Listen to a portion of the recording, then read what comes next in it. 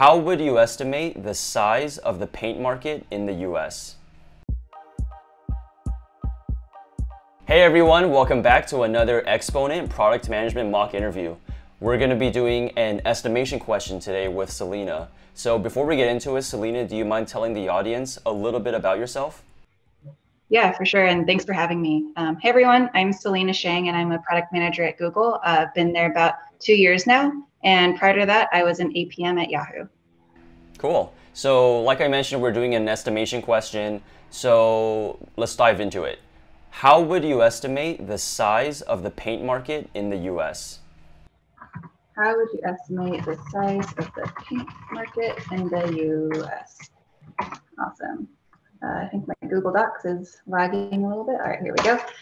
Um, sure. So I'm assuming that this will mean how much people are spending on paint uh, in a given year in the US. Um, and if that's true, uh, there's, you know, just brainstorming out loud, there's a few different channels that, you know, people might be buying paint for. One might be for houses, you know, buildings in general. Um, so residential, industrial, things like that. Um, another one I can think of are vehicles. So like painting your car, painting trucks, um, and the likes. Um, and then maybe a last one would be things like, you know, art supplies. Like I'm sure you remember when you're K through 12, you probably had to do some sort of painting project growing up. And, you know, there's also hobbyists that enjoy painting. Um, does that make sense so far? Yeah, that, that's a pretty good spectrum to start with. Cool. So I think like for the purpose of this exercise, um, my my gut says that I think we should focus on residential buildings, industrial buildings, and vehicles to start because if you think about all the vehicles and all the buildings in the world or in the US, and then you think about how many people in those buildings and vehicles might be painting, I think the scale of all the buildings and things like that would dwarf art supplies. Um, but if we come to the end and feel like the estimate is off, like I think we can revisit that. Um, so at a really high level, if we take some unit of paint, say like a can of paint, um, cans of paint, to find the total market, we'd want to see how many cans of paint are being used per year um, and multiply that out by how much a, pan, a, a can of paint costs in general. And so um, just given that high level equation, again, we have buildings that are residential, buildings that are industrial, more commercial, and then like vehicles. So let's break it down a little bit more. So starting with residential, we know that there's about 300 million people in the US. And given that there are about three people per household, let's say that there's about 100 million houses um, in the US. And so if we're thinking about how much paint is needed to paint all the houses in the US, we should also keep in mind that not every single house is going to need paint every single year. And so if you imagine like, you know, over the course of a house's lifetime, um, painting is not really a regular thing. Like you hope that, you know, you do it one, you do it nicely one time and it'll last you like a good amount of time. So let's say for now, like maybe you paint a house every 10 years. So um, if that's true, there are 10 million houses per year that are needing paint.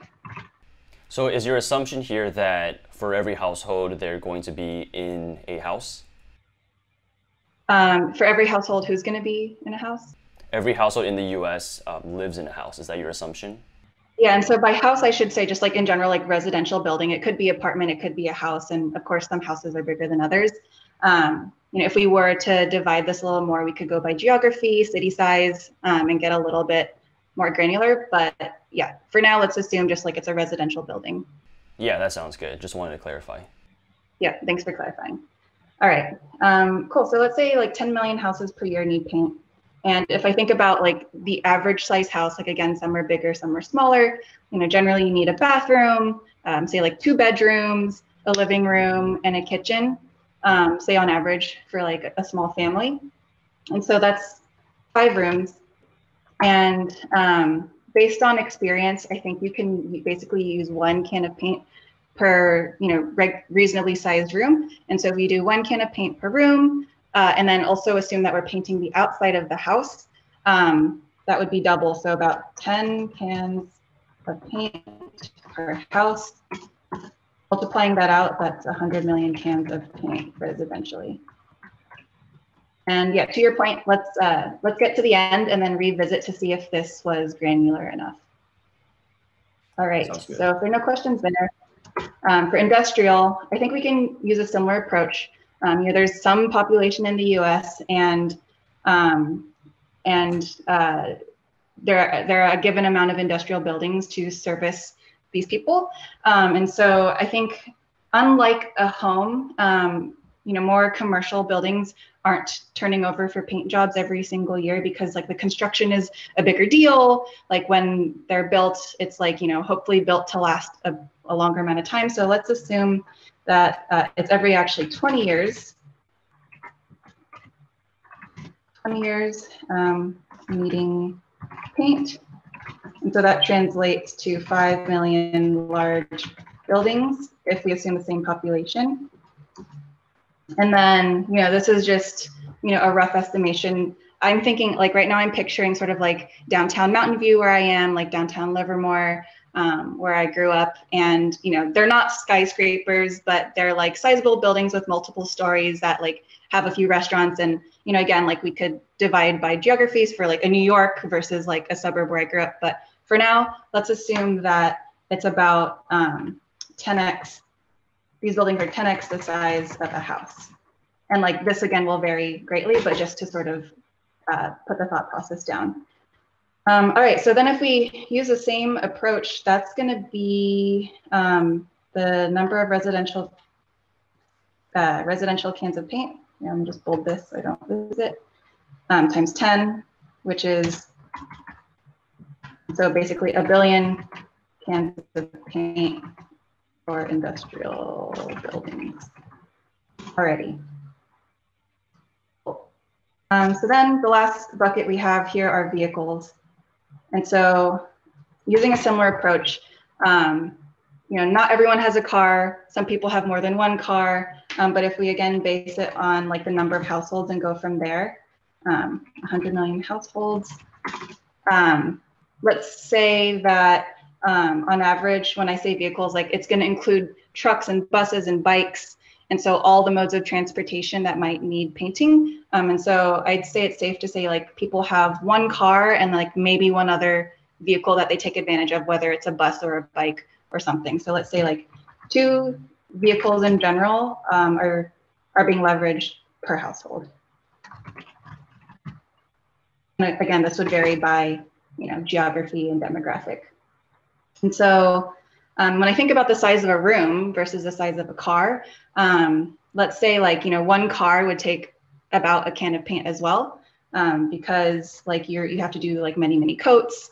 Um, and, you know, uh, it's, uh, you want to make sure that the, the quality is pretty good for your, for your car. So one can per vehicle, and then that would come out to be 200 million cans of paint.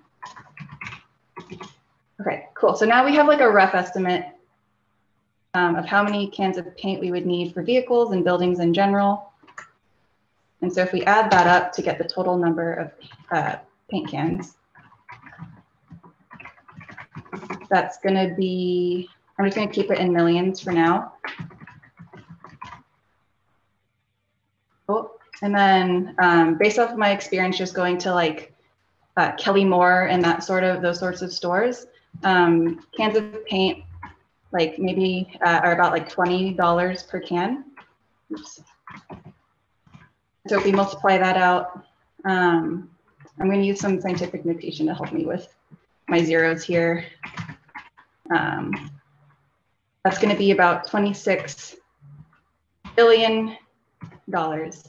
Um, I'll pause there in case you have questions on how I got here, and then I'll sort of uh, give you my thoughts on how we on what this number means and how I feel about it.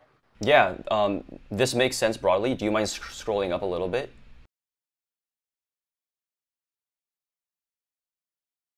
So um, I'm looking at the top and it says um, approximately five rooms per house. Is that 10 cans? Is that for covering all five rooms? Yeah, covering all five rooms. So we're assuming um, one can covers the square footage needed for one room. but then you know you're also painting like the exterior of the house. So for each room you know there are walls on the outside and the roof. And so i'm just like approximating like you just double the surface area on the outside for now. Okay. Got it. Yep that makes sense. Um, sure yeah. So i'd love to hear if you think this final uh, answer is an overestimate or underestimate or if it's just about right. Yeah. Um, looking at it i think orders of magnitude it's probably okay like i don't think paint is a hundred billion dollar business like a Google or Facebook might be. Um, I do think maybe it's a factor of two off. I could see um, the size, for example, the size of industrial buildings on average could actually be much higher, um, given that in, in major cities, skyscrapers are like much bigger than 10x the size of a house. So I would want to revisit that. Um, and then I think if I were to revisit, um, say, the um, like the uh, the demographics and like you know geographical makeup, um, it might net out to be a little bit higher. And sort of going back to the arts and crafts thing we were talking about earlier, I think it was okay to leave it out of the estimation because when I think about the scale of you know tens of billions, I don't again I don't think the art supply market would you know dwarf this by an order of magnitude. So I think it was okay to leave it out for now. Cool. Yeah, um, totally follow you along, and I think that this is a reasonable answer. Um, I also agree with what you said about maybe the, the skyscrapers might fall under like that 80-20 rule where there's probably only like 20% of industrial buildings are skyscrapers but those 20% of skyscrapers maybe they're so big that they're 80% of like how much industrial paint uh, that that segment is um, all, all, in all I, I, love your answer i love how you structured it i also loved how in the beginning um, you segmented not only uh, houses, but you also thought about cars and also arts and supplies as a market. So um, I think that there's there's always like different ways to go about answering these these types of questions, and I think the way you did it makes sense. Um, I'm wondering if you might have any tips or advice for the audience if they were to uh, come across an estimation question like this. Yeah, definitely. I think in general, when you're going through an estimation question about revenue, it sort of it's good to have a lay of the land for some other companies and how big their revenue is. So when you get to the end, you're like, okay, great. Like I'm glad I didn't get 150 billion because that would be as big as you know Google. Um, so that's one uh, that's one tip. And then I think um, the second tip I would give is just upfront making sure you take your time to consider all the sources and clarify with the interview interviewer that that's what they have in mind too. Because if at the beginning you get your sources and channels wrong or you're forgetting a big one, um, like that mistake is going to carry through all the way. So uh, those are my two bits of advice. Uh, do you have any advice on how, at the end, um, how someone could validate their answer and see if it's a, if it's just about right or if it's over or under what it should be? Yeah. Um, so kind of going back to the first bit, it's like, hey, I'm looking at this like from an orders of magnitude perspective. Like, do I think it's actually you know, six billion on the order of single digit billions? Do I think it's a hundred billion or something in between? I think um, in this case, I don't think it's as small as one billion because that would be the size of like, you know, a meet like a Yahoo, for example. Um, but I, I don't think it. I don't think the overall paint market is as big as the Google. So that's sort of the way I was approaching it. Great. Cool. Um, I think that's all we have for today. Thanks so much, Selena, for coming on today's show and covering this estimation question with us. And for the audience watching at home, good luck with your upcoming PM interview. Thanks so much for watching. Don't forget to hit the like and subscribe buttons below to let us know that this video is valuable for you. And of course, check out hundreds more videos just like this at tryexponent.com. Thanks for watching and good luck on your upcoming interview.